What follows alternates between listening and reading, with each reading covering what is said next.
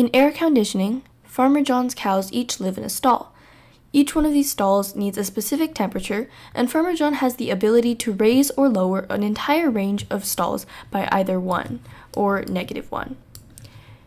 Farmer John basically needs to find the minimum number of moves, where each move is a command where he needs to tell the stalls in a certain range to increase or decrease, and get the minimum number of moves he needs in order to bring the current temperatures in the stalls to the ideal temperatures in the stalls. Let's go look at the algorithm for this question. There are two main steps to solving this question, and the first one is, from the values we get, we can make what's called a difference array. And what that basically is, is with our current values and the values we want to obtain, we're going to make a new array of the difference between the value we want and the value we have. So more simply put, our current value minus the value we want to get. So for 4 and 1, that would be 3. For 5 and 1, it would be 4. And we can basically create another array for how much we need to increase or decrease our current value by. Once we've made that, we can turn this list here and then map it on to a graph like this.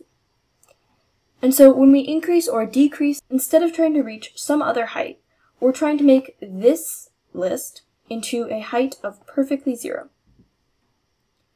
Once we've done this, we can actually try and use a pointer technique.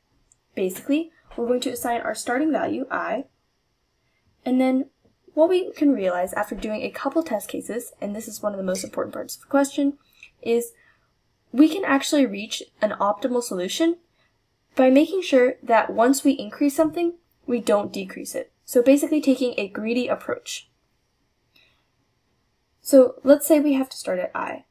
We're going to keep incrementing until we reach a j, where the j is the last value that is either positive or negative depending on i.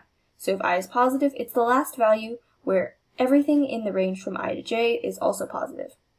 And the reason we're going to find this j is because we know for some value, the minimum value within this range, so the smallest of these heights, we're able to basically remove a continuous range within this range from i to j without having to lower it again. And so once we found our i and our j, we're then going to take this difference array and then we're going to implement our stack. And the way we're going to use the stack is basically as we loop through from i to j, we're basically going to find the smallest value we've seen so far. So let's say we have a stack here. We're going to push in the first value here. It's going to be 3 with index i. And then we go to the next one. The next one is obviously taller. And then the next one is shorter, so we're going to push this one where it's 2, and then index i plus 2. And then we're going to find the next one, which is taller, and then we're going to find j, and j happens to be the smallest so far, so then we're going to push j and then height of 1. And then what we're going to do is we're going to go backwards through the stack, popping values, and for each one, we're going to take it off of the range. So I'll show this more specifically in the code, but basically we're going to take the range of our current i to our current j. And then as we move through, this is going to change. And you'll see what I mean by this in a minute. We're going to take our j and i, and then we're going to remove this height from all values. So in this case it's 1, so we're just going to remove all of these values. And then we're going to move on. If this i is not 0 yet, we're going to stay here, and then we're going to pop the next thing from our stack. We're going to take this, and then for our i and j, and in this case, since this j is 0, we're actually going to find our new j as here. And then what we're going to do is we're going to take the difference between this height and this height, and then we're going to subtract that value. Since if we have, say, this value here, if I were to subtract 2 off of this, it would be negative because we already subtracted 1. So basically, we're going to subtract a height of 2 minus 1, where the 2 is this 2 and that 1 is this 1. And then we're going to subtract that height from everything left in the range. So we're just going to remove that. And then we're going to reach the next value, where this is 3. And then again, we find the difference, or let's say delta, And then we're just going to take that one off of the range too. And notice in this case our j has, because now we have a zero value here, our range has decreased. So then we're going to take that value off here. And now that our i has become zero, we're going to move our i to the next value and then start again by finding a new range of i and then j. This is a little bit complicated, but we'll see this more specifically in the code. The main ideas we need to realize is we're going to keep our stack here, and we're going to have our i and j pointers. And then as we move, some values are going to turn into zero. And when these values turn into zero, our range is going to decrease or change. So for example, once this value becomes zero, we're not going to use this range, and we're just going to update and then turn this range into zero first and then we're going to keep going until our i is 0.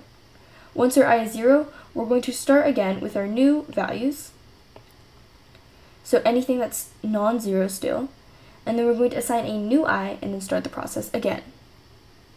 Let's click the code for this question. We're going to read in the input, and in this case I've condensed it all into three lines where we're just going to read in our values as lists and then of integers. For each value, we're going to create our difference list by basically going through from 0 to n minus 1, and then adding in a value of diff i as equal to ai minus bi, meaning our current temperature minus the temperature we're trying to get. So this value can be either positive or negative, and we'll see later we're actually going to use that. Next, we're going to create a couple variables. We're going to make a flag, and I'll explain this later, and then also keep our answer and then our i. We're also going to make our stack for the purposes mentioned in the earlier section. So we're going to loop through a while loop. And then as we go through, we're going to check to see, and this is where our flag comes in, if our difference array i is equal to 0, and i is still within range, we're going to increment i by 1. So this means that we're only ever going to increment i whenever our difference value is equal to 0 or our current temperature is equal to the temperature we're trying to get. And then in the case where we go over, where i is equal to n, we're just going to break. And then we can create our j index, and then our m. So m is going to be the value that we erase. And then since we're going to find the smallest possible value, I'm going to set it as a large value. So this value is, as long as it's large enough, or larger than our largest possible value for temperature difference, then it works. And then for the main part of our program, we're going to have an if statement.